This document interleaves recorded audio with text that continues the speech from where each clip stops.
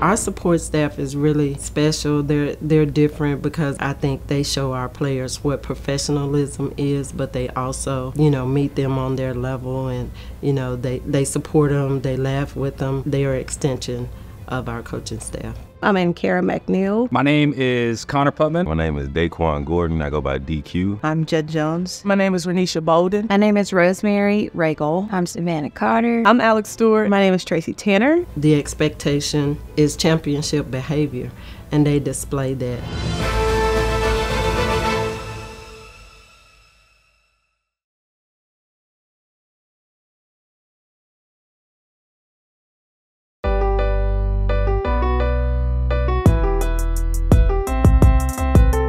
So when I first started coaching, support staff was very behind the scenes. Now they look like your coaching staff. Our players have a lot more respect for them because they can see the work they're doing. It's not just behind the scenes. They are a very important part, their family. Just for our players to be able to see them and appreciate them has meant everything for, you know, just both for me personally, but for our program. What up, squad?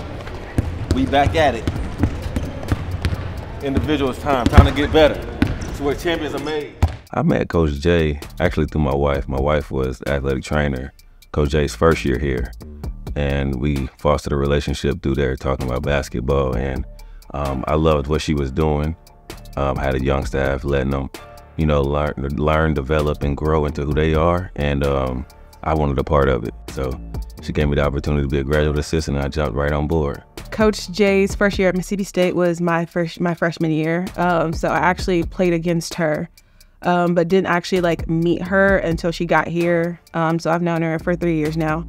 Um, but honestly, it was kind of just like an instant like connection and just a very genuine connection. And I could tell like she wanted to come to Auburn to change the landscape bring Auburn back to where it used to be. She just had a different vibe about her that this program hasn't seen in a long time. My player heart bought into what she was doing and wanted to be part of that in any realm that I could. For me, I got into this field, um, wanted to work in college athletics to have those relationships, right? You know, I was a student athlete at one point, so just being able to kind of you know, relive it in a sense kind of with them and be a part of that process and that journey um, is great. And this is such a great group that we have too. I have so much fun with them.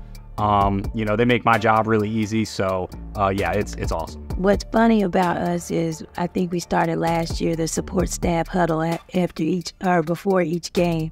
Put our hands in and we are like support staff on three, one, two, three, support staff. But this entire staff is just very unique in its own way because we're all able to be who we are and nobody is judged or anything like that. Not too many people take anything personal.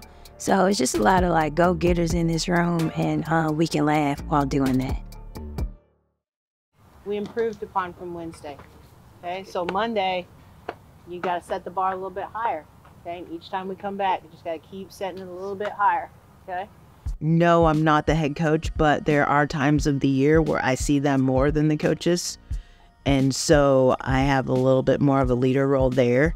Um, and then when the season rolls around, then I kind of take a back seat and take lead from the coaches. But definitely trying to set the same culture in the weight room, whether we're running outside or doing conditioning in the gym, setting the same culture that Coach Jay wants because it's ultimately her team. Um, but I still need to be that um, leader in that particular workout. I have a, a, unique relationship with the girls now, especially being on the court. So i I look forward to developing those relationships with them. Uh, but right now, kind of being behind the scenes, and you know, I'm the one that kind of helps, you know, gather a lot of their meals, uh, get sizes, travel. So so they come to me when things kind of start to break down. So we pretty much kind of have a good a good relationship, and they always need something from me though. So that, I hate to say it like that, but those are the best ones because they always come and need something. I think I have phenomenal relationships with the student athletes. Um, I'm a very approachable person. Um, so they know they can come to me about anything, and I'm just going to be very transparent with them because I want the best for them. I try to give time to the players to get to know me. I want them to get to know me first, and but at the same time, I'm also trying to find out more about them so that I can connect in some way That's always a goal of mine because at the end of the day, I want them to trust me so that they can depend on me and everybody's on the court at the end of the day. It just feels like family. In all honesty, uh, you know, they we almost just like a group of uh, sisters and brothers. I think that it sets us apart from other programs just because of you know who we are and how we are in the office. We're just a fun group, but we are also uh, making sure we're taking care of business. We needed uh, support staff that would come in with fresh ideas that could put our um, put our name and our faces back, put Auburn women's basketball back on the map. It had been done here before, and we wanted to get back to it. And the way we sell our vision, our dream of what Auburn women basketball is, um, was everything you know, that I needed our support staff to be able to display. I think France helped me a lot, you know, getting closer to them and um, understanding where they come from and why they are who they are. Um, I know for the past two years I wasn't good at that, building relationships with them. So this year I wanted to make that a critical point for myself to get to know them and who they are and how I can be able to coach them on the court. My relationship is, is awesome with them. I get to have fun with them, foster relationships to, you know, um, just get the most out of them on and off the court because, you know, as we know, you know, a lot of our a lot of things are better if we're doing good off the court and on the court. Previous teams would take 6 a.m.'s personal and they'd hold on to that. Well, Jen made us do this, Jen made us do that. This team, they understand that it's challenging and that we're trying to get somewhere, but after it's over, they're laughing. Do you believe what we had to do this morning?